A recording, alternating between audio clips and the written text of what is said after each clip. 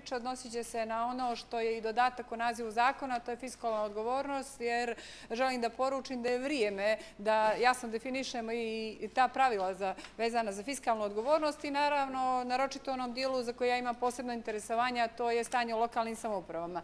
Početkom novembra imali smo u Skupštini Crne Gore kontrolno saslušanje na moju inicijativu o stanju u lokalnim samoupravama.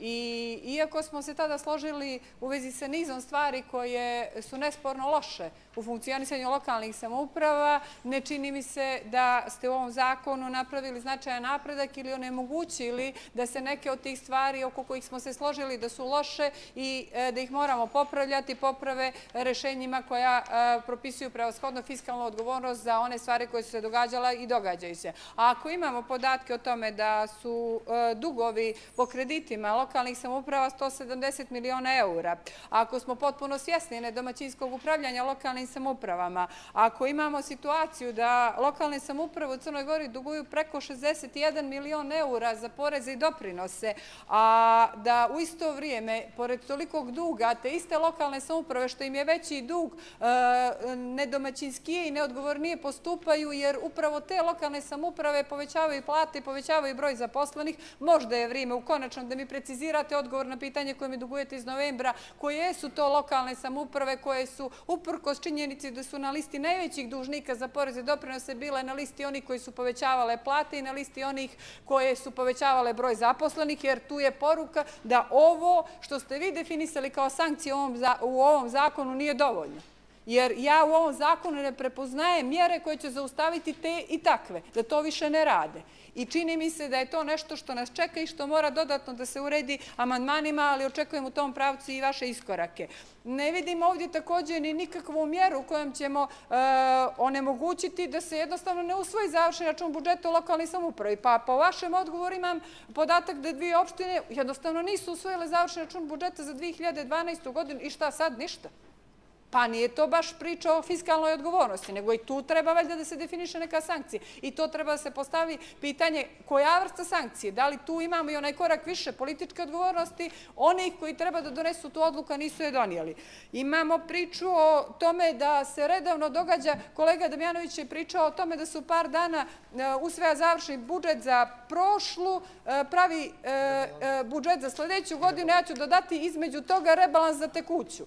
E, znači, e, ono što vam je scenario koji se ponavlja iz godinu u godinu, evo makar na osnovu priče iz bara mogu da govorim je da nekog 27. decembra imate sjednicu Skupštine opština na kojoj se prije podne priča o rebalansu tekućeg budžeta, a popodne se priča o budžetu za sljedeću godinu. Pa malo li je za jedan dan da prekrojimo budžet za jednu i da isplaniramo budžet za sljedeću? Ili rebalans budžeta lokalnim samupravama služi da se poslože stavke na livoj i desnoj strani da bi se posle mogao završiti završen račun budžeta. Ajmo da definišemo preciznije kad se mora napraviti rebalans budžeta. Ako ga vlada može raditi i tokom godine, zašto ga lokalne samuprave ne rade kad se steknu uslovi kad moraju to da rade, nego ga rade 25. i 27. decembra da bi posložili stavke za završen račun budžeta budžeta. Da li se e, uredbom, kako je definisan način e, davanja garancije onim što ste vi sad dali, konačno rješava pitanje kako se e, daju garancije za zaduživanje opština? Da li se e, u odlukama o zaduživanju opština poštuje ono do 10%? Da li odluke e, sadrže sve podatke o tome koliko unutar toga imamo e, kredit, onaj dio koji se tiče glavnice, koji se tiče kamate ili imamo bez tih podataka odluku na Skupštini opštine. Što se dešava kad je e, zaduživanje opštine e, vezano za preuzimanje kredita, odnosno garanciju za javno preduzeće, a e, taj kredit za to javno preduzeće je veći nego ukupan budžet te godine e, za javno preduzeće. To su sve stvari o kojima treba da pričamo. Ali e, prilika o tome je i da ukažemo na znači, nedovoljno sankcije koje ste propisali, jer jednostavno, ako ste vi pomenuli, ste priču o mišljenju koje treba da da da e, vlada za predlog budžeta. E, vi ste i do sada davali nekakvo mišljenje kojim ste uređivali kako će se e, između ostalog voditi politika zarada. Pa imamo politiku zarada da je eto Berane Prvo, poslednja zarada za jul 2013. godine isplaćena 27.12.2013. godine, ali da to isto Berane duguje po 4 e, miliona i 598 hiljada za poreze i doprinose. I kad sam se već uhvatila Berane, neće mi zamjeriti potpredsjednik što će mi dodati nekih 30 sekundi da čestitam opštinskom dvoru SMP-a Berane i slobodnim građanima Berana koji su iznijeli pobjedu koalicije Zdravo Berane. A da mom kolegi, nosiocu liste i budućem predsjedniku opštine umjesto čestitki e, Eh, odam priznanje za odgovornost, jer je u noći pobjedu umjesto euforije pričao o tome da tamo treba da uđe revizija, jer je u noći pobjede pričao o tome da treba se podvuče crta i treba tamo ozbiljnije da se radi. A radi javnosti, a moj kolega Šćekić to naravno odlično zna, da se zna da je bivša vlast u Beranama ostavila za sobom kreditno zaduženje od 4 miliona 523 326 eura i dugovanje pri vodim kraju, nemojte biti nervozni zbog poraza u Beranama, i dugovanje za poreze 4 miliona 598 538. I do kraja priče ovakve su brojke samo moram zaista jer je jako bitno nabrojati za par gradova, bar 4,7 miliona dugovanja za porez i doprinose, Danilograd 2,8 miliona, Cetinje 6 miliona. Koliko to godina te opštine nisu plaćale porez i doprinose? Da li jedan privatnik ako tri mjesece ne plati porez i doprinose može da radi? Ili će ga finansijske inspekcije zatvoriti? Kako smo funkcionisali? Je li bilo uopšte fiskalne odgovornosti u ovoj državi? Hvala. Hvala vam. Ministar Žugić oče riječ. Je li riječ o... Je li riječ o čestitkama za Berane ili drugim? Izvolite.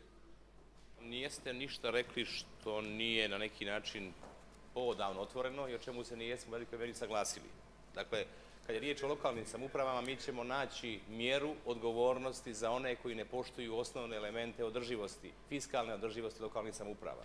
Da vas podsjetim samo jedno, da ovih dana, nadam se, vrlo skoro će u ovaj visoki dom doći zakon na donošenje o zaradama u javnom sektoru koji obuhvata i lokalne samuprave, i centralnu vladu, i javna preduzeća. I zakonom ćemo urediti i o samu odgovornost za one koji duguju, koji nijesu uredni u servisiranju svojih obaveza, poreskih i svih drugih, a istovremeno im rastu zarade. To je napor koji smo uradili u sistemskom uređenju, u objektivizaciji i u pravednosti zarada u čitavom javnom sektoru. Dakle, ja vas samo molim da imate malo strpljenja, jer trošimo ogromno vrijeme, ulažemo ogromne napore, a cilj nam je da iskoračimo na zdravu granu koliko je to moguće. Inače, za fiskalnu disciplinu lokalnih samuprava, da vam kažem da je Poreska uprava u prethodnoj godini podvukla crtu, svako je morao da plaća ono što je tekuća obaveza po osnovu javnih prihoda. Provjerit ćemo koliko je to poštovano. I dobro je da se iza ove govornice čuje poruka i pošalje poruka za potencijalna ili realna neodgovorna ponašanja.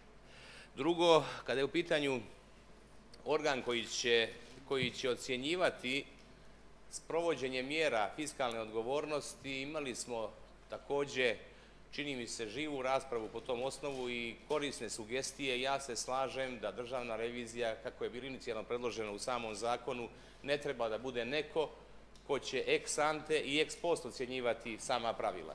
Ali prilika je da možda na odboru definišemo fiskalno-finansijski savjet, da ne širimo previše organa u Crnoj Gori, da promijenimo strukturu samog članstva u savjetu i način predlaganja. I treća stvar koju sam želio da iskomentarišem, a ticala se ograničenja, jako je lijepo govorio gospodin Bojanić, da ne smijemo ovim zakonom ograničiti elemente rasta i razvoja. Ne smijemo ograničiti valorizaciju naših resursa, niti smijemo ograničiti ono što znači prevazilaženje stanja u kojoj smo trenutno, čini mi se da još uvijek elementi recesije prethodnog perioda se E, odražavaju na pojedine sektore, na pojedine, na pojedine važne elemente ekonomske politike. Dakle, mi smo u članu 21 definisali u tački 3 da je prekoračenje nivoa duga nešto što se koriguje u naredne tri godine. Možda je prilika da ovaj rok produžimo na pet godina i time ostavimo širi prostor za korektivni faktor, ali isključivo za kapitalne i razvojne projekte. I ja vas molim da zajedno o tome razmislimo na odboru i eventualno produžimo rok korekcije na pet godina. Zahvaljujem. Hvala vam, kolegin Cijonic. Izvolite, imate riječ. Do kraja priče opet niste rekli koje su to opštine u Crnoj Gori povećavale broj zaposlenih i povećavale flate svojim funkcionerima, a bile najveći dužnici države, ali dobro, dostavit ćete, pretpostavljam i to. E, nisam stigla u izlaganju da kažem i e, nešto što je već govorio kolega Damjanović, opet pričamo o lokalnim samupravama, rokovi. Dakle, član 31 rok da za pripremu nacrta odluke o budžetu i slanje Ministarstva financija 1. novembar, slanje Skupštine opštine 1 1. decembar. Za 30 dana zaočekivati da dođe od Ministarstva financije, da se obavi javna rasprava i znate što imate u konačnom od toga. Ili imate sprovedenu javnu raspravu reda radi, a ne da se zaista oni koji ulažu te pare u budžet pitaju kako će one biti trošene, ili imate privremeno finansiranje. Imate opštine, a pada mi na pamet obližnja Danilovgrad, koje godinama, ja mislim su prvi put prošle godine donijele budžet na vakat prije nove godine. Redovno se donosi odluka o privremenom finansiranju i to umjesto izuzetka politika i očekujem da se možda i tu djeluje na određeni način. Pod kojim uslovima i zašto se donosi odluka o privrednom finansiranju? Kad to postaje navik ili običajeno, onda to nema nikakvog smisla. Čini mi se da i tu treba nešto da pojačamo. Nisam do kraja sigurna da ova priča o obaveznosti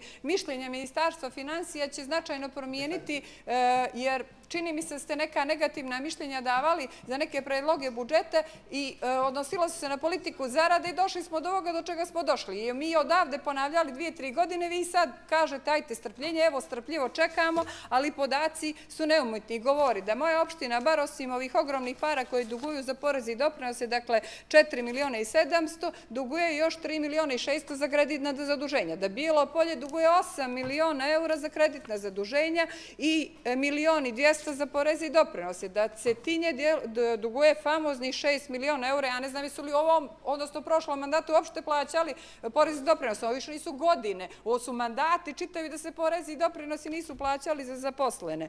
E, Nikšić 16 miliona eura, Veljo interesovala te Podgorica 27 miliona eura, kreditno zaduženje Podgorice. Ovo nije priča o odgovornom postupanju i meni se čini da ove norme i ta jedna riječ koju ste dodali ne može zaustaviti ovo da ćemo morati ići jače i morati ići sa sankcijama. I nisam dobila odgovor kako ćemo zaustaviti priču se završi račun budžetu jednoj opštini ne donese i da bude kao da se ništa nije desilo. Hvala. Hvala. Teško je dobiti odgovor na sva pitanja, pošto vi u vašoj raspravi postavite po jedno 30 pitanja, tako da teško je stići ministru ili drugom učesniku raspravi da odgovori na sva pitanja. Idemo dalje i kolega.